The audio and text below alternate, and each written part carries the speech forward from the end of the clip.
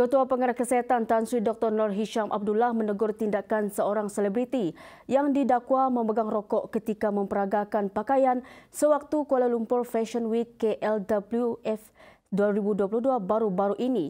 Dalam ciapan di Twitternya, Dr. Nur Hisham Abdullah menyifatkan perbuatan tersebut menunjukkan contoh yang tidak baik kepada masyarakat sekeliling terutamanya kanak-kanak dan remaja. Justru, setiap lapisan masyarakat diseru supaya membantu usaha Kementerian Kesihatan Malaysia KKM bagi memastikan perbuatan merokok bukan budaya yang wajar dicontohi. Baru-baru ini, tular di media sosial tindakan vokalis hujan Nos Saleh Catwalk sambil memegang dan meletakkan rokok ke bibirnya pada KLFW 2022.